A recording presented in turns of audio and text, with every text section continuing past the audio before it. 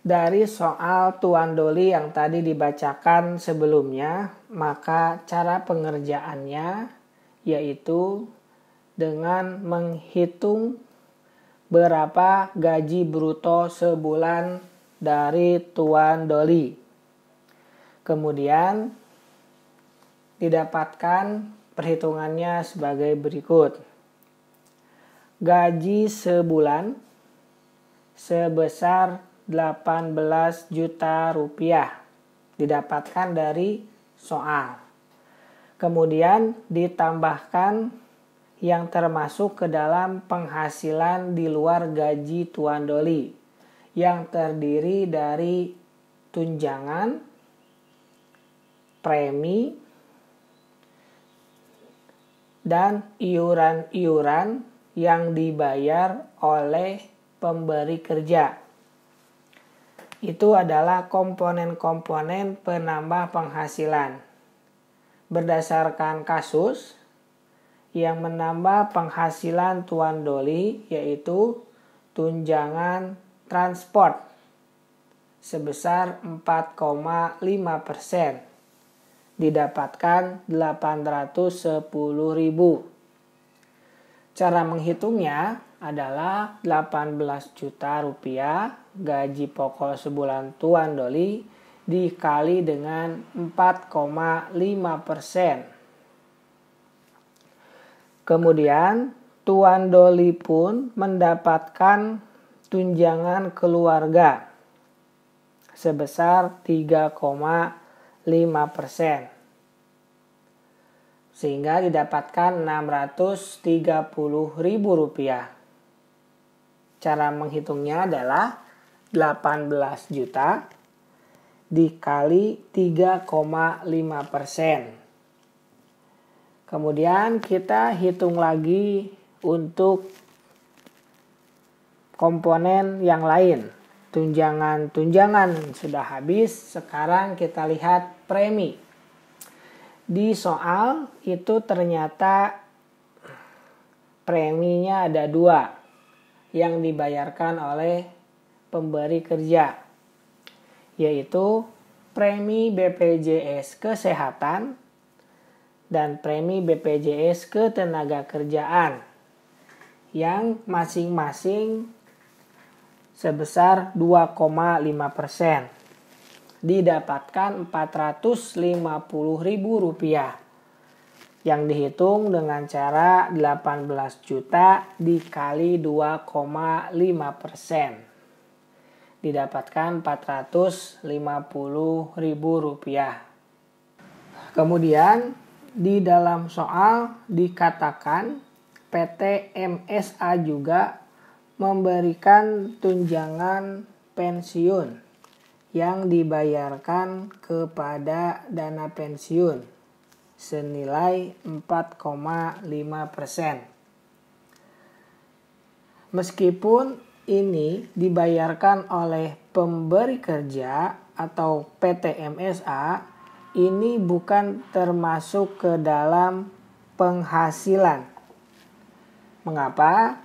Karena ini adalah dana pensiun yang nantinya pada saat Tuan Doli pensiun, uang yang disetorkan kepada dana pensiun itu akan diberikan lagi kepada Tuan Doli.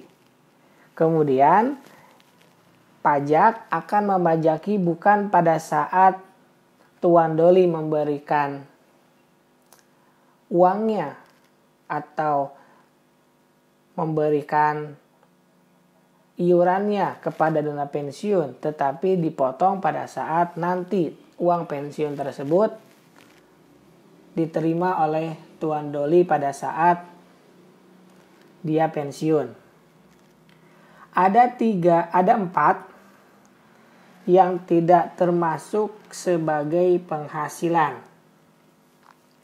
Yang pertama adalah pembayaran asuransi, bukan preminya oleh perusahaan asuransi kesehatan. Kalau yang tadi premi BPJS Kesehatan itu preminya atau iuran yang harus dibayar setiap bulan. Tetapi kalau ini asuransi yang dibayar oleh perusahaan asuransi. Bisa asuransi kesehatan, bisa asuransi kecelakaan, bisa asuransi jiwa, bisa asuransi beasiswa, dan asuransi dwiguna. Yang kedua adalah iuran pensiun. Nah ini yang jadi e, soal tadi ya. Yang dibayarkan kepada dana pensiun yang pendiriannya telah disahkan oleh Menteri Keuangan. Iuran pensiun ini meskipun dibayarkan oleh pemberi kerja tidak termasuk ke dalam penghasilan. Yang ketiga, iuran jaminan hari tua kepada penyelenggara jam sostek yang dibayar oleh pemberi kerja. Dan yang keempat adalah penerimaan dalam bentuk natura dan kenikmatan. Empat hal ini tidak termasuk sebagai penghasilan. Kita lanjutkan menghitung gaji bruto sebulannya. Sudah kita tentukan mana saja yang termasuk ke dalam komponen gaji bruto, kemudian kita jumlahkan dari 18 juta ditambah 810 ribu, ditambah 630 ribu, ditambah 450 ribu, ditambah 450 ribu.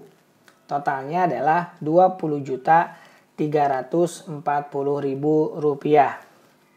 Kemudian setelah didapatkan gaji bruto sebulan, dikurang dengan pengurang-pengurangnya. Yang wajib dan pasti ada untuk pegawai tetap yaitu biaya jabatan yang dihitung dengan cara 5% dari total penghasilan gaji bruto. Dalam satu bulan maksimal yaitu Rp500.000 dalam setahun maksimal yaitu 6 juta rupiah. Karena ini lebih dari 500 ribu rupiah, kalau kita hitung yaitu 20 juta 340 ribu rupiah dikali 5 persen hasilnya adalah 1 juta 17 ribu rupiah lebih dari maksimal. Oleh karena itu maksimalnya adalah 500 ribu. Itu yang wajib ada. Kemudian ada iuran-iuran yang dibayar oleh pem, oleh pegawai atau oleh tuan doli. Yaitu sebagaimana di soal disebutkan untuk BPJS Kesehatan dan BPJS Ketenaga Kerjaan masing-masing 4,5 persen. Sehingga hasilnya 810.000 didapatkan dari 18 juta dikali 8 dikali 4,5 persen. Kemudian ada lagi iuran pensiun yang dibayar oleh tuan Doli. Sebesar 2 juta 750 ribu rupiah. Salah, iuran pensiun sebesar 3,5 persen atau Rp630.000 didapatkan dari 18 juta dikali 3,5 persen. Sehingga total pengurangnya yaitu Rp2.750.000. Perlu diketahui di sini tidak semua yang namanya premi itu menambah penghasilan dan tidak semuanya iuran itu mengurang penghasilan. Yang menjadi kunci adalah siapa yang membayarnya. Apabila yang membayarnya adalah pemberi kerja, maka itu menjadi penambah penghasilan. Tetapi kalau itu yang membayar adalah pegawai, maka itu menjadi pengurang penghasilan. Jadi nanti jangan terkecoh dengan nama premi atau nama iuran dapat total pengurang sebesar Rp2.750.000.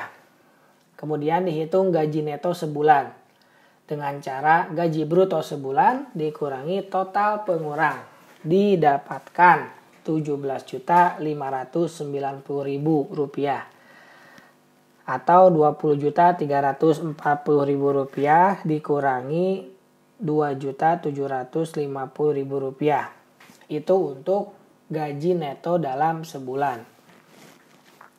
Adapun dalam satu tahun, kita tinggal kali aja 17 juta 510 ribu eh 17 juta 590 ribu dikali 12 dapat 211 juta 80 ribu rupiah. Kemudian kita hitung PTKP-nya. Karena Tuan Doli telah menikah dan memiliki tiga orang anak, maka status pajaknya adalah K3. Yang nilai PTKP-nya yaitu 54 juta untuk wajib pajak sendiri ditambah 4 juta 500 untuk status kawin dan tanggungan tiga orang atau 4 juta 500 dikali 3 sehingga totalnya adalah 72 juta rupiah. Gaji neto setahun dikurangi PTKP didapatkan PKP sebesar 139 juta 80 ribu rupiah. Kemudian setelah itu kita bisa hitung PPH terutangnya dengan cara 50 juta dikali 5% sama dengan 2 juta 500 dan sisanya dari 139 juta 80 ribu yaitu 89 juta 80 ribu dikali 15% sama dengan 13 juta 362 ribu.